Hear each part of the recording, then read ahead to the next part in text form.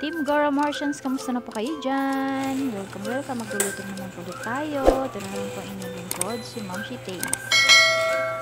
Magluluto po tayo ngayon ng inisang or stir-fried longganisa. Yan po sa pinaglatuan nila kanina ng hotdog at saka ng tokwa. Dito na rin po ako magluluto sa kawali nito ng lulutuin ko ngayon. So, igigisa ko ngayon ang bawang at sibuyas. Tapos, lalagyan ko na rin po ng sili. Kasi ako lang naman po kakain.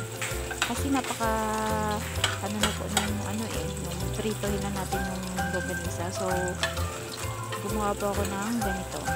So, yan po ang longganisa. Hiniwa-hiwa ko po siya sa slice.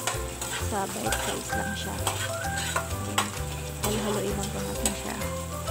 So, ito pang menu natin na stir-fried uh, longganisa.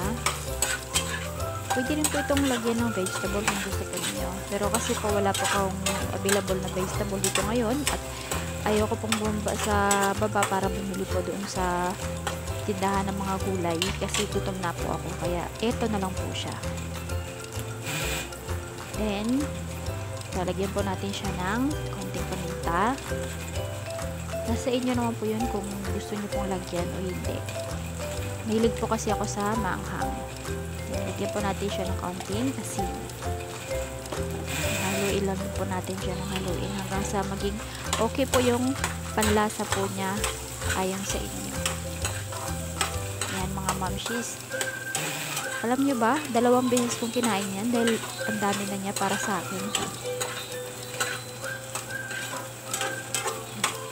Diba? Napakasimple lang, napakamura lang. Inulam pa namin dalawa ng panganay kong anak kanina yan.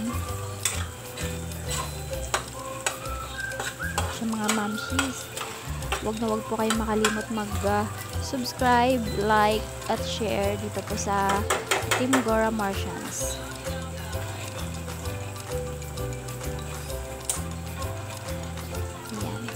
Po siya, hahainin, ay hahain ko na po siya.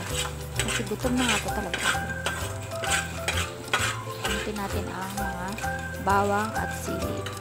Masarap po ang lasa niya.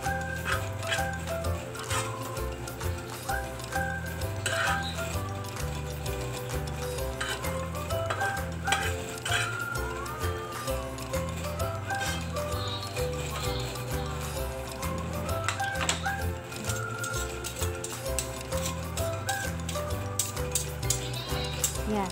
Kukuha na rin po ako ng kanin ko na makakain na rin po ako. Ayan na po ang kanin at ito naman po ang aking ulam. Yan. Kain na lang po mga ating Gora Martians. Sabay so, na po ako sa pagkain. Ito na lang po. Thank you. Susunod po ulit. Huwag po kalimutan mag-subscribe.